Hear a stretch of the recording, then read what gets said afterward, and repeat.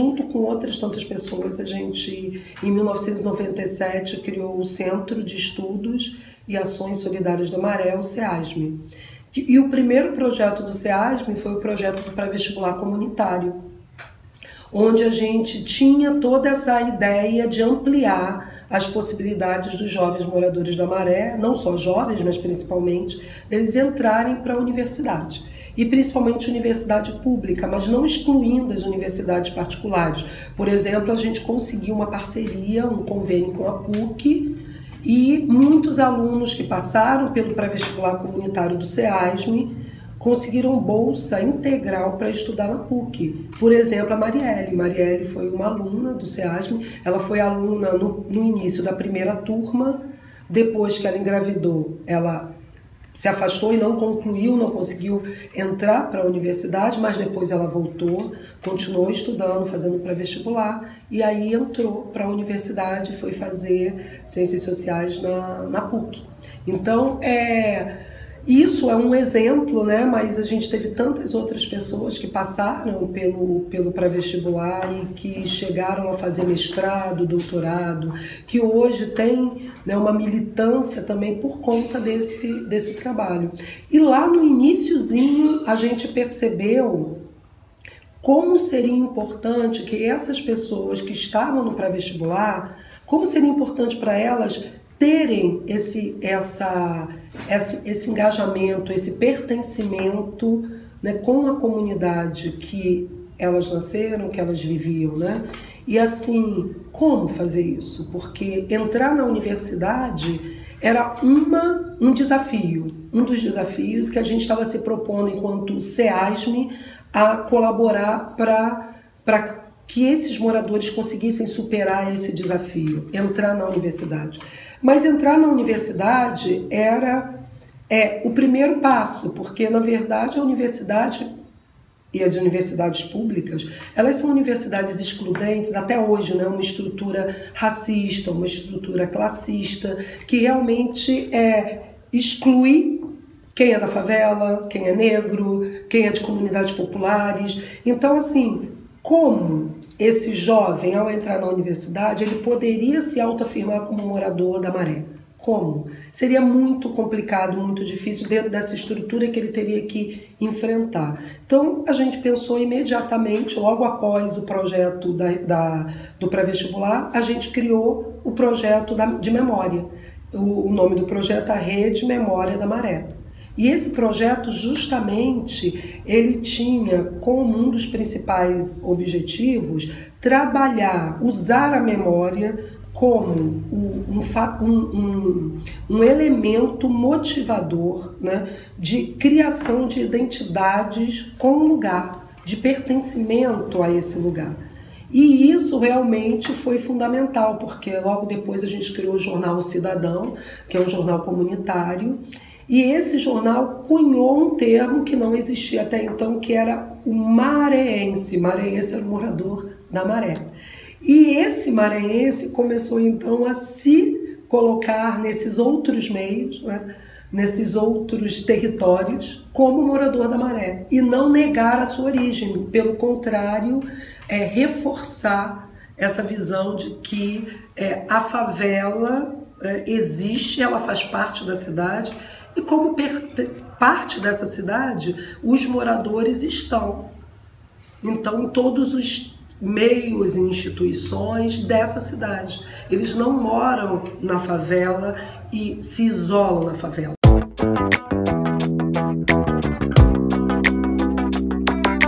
Que a gente logo pensou em início, quando a gente criou a, a Rede Memória da Maré, foi criar um arquivo um arquivo onde a gente pudesse reunir um acervo sobre a história desse lugar. E aí a gente descobriu coisas muito interessantes, por exemplo, uma bibliografia de trabalhos acadêmicos de pesqui vários pesquisadores que vinham até a maré, faziam pesquisa sobre a maré, entrevistavam moradores, depois levavam para a academia esse, esse tra esses trabalhos e não vinham de volta devolver esse trabalho para a comunidade. Então a gente começou a juntar tudo isso e criar um acervo, um acervo também fruto da doação de moradores, moradores começaram a doar muitos documentos, fotos né, é, de família. E também nós começamos a desenvolver pesquisa em vários arquivos públicos da cidade, na Casa de João Cruz, na Biblioteca Nacional, Arquivo Nacional, o Arquivo Geral da cidade. E todo esse acervo começou a ser reunido num arquivo que a gente deu o nome de arquivo Dona Orosina Vieira, porque Dona Orosina foi uma das primeiras moradoras da Maré. Ela veio na década de 1940 morar aqui no Morro do Timbal, que é uma das comunidades da Maré. E em homenagem a ela, então, a gente deu o nome do arquivo, né, batizou o arquivo com o nome dela, Dona Rosina, que a gente chama de Adove, né, chama o arquivo de Adove. E essa era a ideia, a partir desse arquivo produzir coisas, produzir como a gente fez exposição itinerante, que pudesse levar né, essa história e a memória dos moradores para outros lugares, sempre em diálogo com outras pessoas de outros lugares, né? estabelecendo pontes e não criando um guetos, mas justamente buscando sempre o diálogo. E isso foi é, é, numa trajetória que aí a gente encontrou o mundo dos museus nesse caminho. Dizer, a gente não tinha planejado o museu, mas o museu veio até nós, porque a gente foi convidado a criar junto com a Fiocruz, que naquele momento, isso foi em 1999, estava inaugurando o Museu da Vida, que é um museu que fica aqui em Manguinhos e no campus Manguinhos da Fiocruz. E essa ideia né, do, do, da Fiocruz era da Casa do João do Cruz, que é o setor dentro da Fiocruz responsável pelo Museu da Vida, era abrir essa instituição para a comunidade, para a comunidade do entorno, e também da cidade de uma forma geral, por meio de um museu. E a gente foi então chamado a construir junto o projeto político pedagógico de formação dos monitores desse, do Museu da Vida. Então a gente começou a participar da construção desse projeto e nos dois primeiros anos, 99 e 2000, todos os bolsistas eram jovens, jovens de ensino médio, moradores do Amaré. E a formação deles se dava lá no Museu da Vida e aqui no Morro do Timbal, onde fica a sede do SEASME. E nessa trajetória, o que, que a gente descobriu? Um, um instrumento muito interessante, que era o museu, como um instrumento de, de resistência, de luta. Partir desse recurso do Cultura Viva que a gente começou a criar e instalar aqui em 2005 e entre 2005 e 2006 o Museu da Maré, a exposição de longa duração que a gente chamou, batizou de é, Os Tempos da Maré.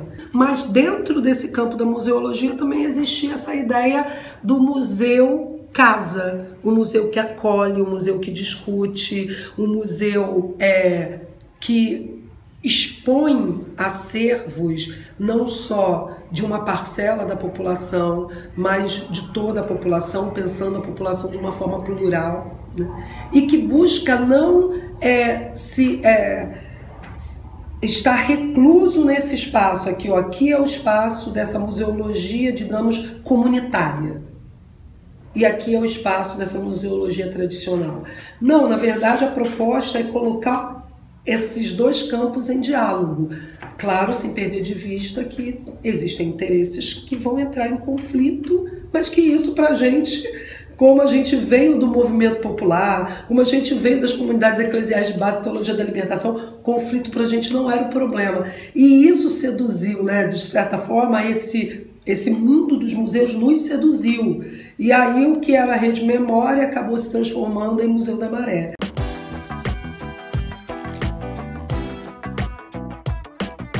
Nessa trajetória, o que, que a gente descobriu? Um, um instrumento muito interessante, que era o museu, como um instrumento de, de resistência, de luta.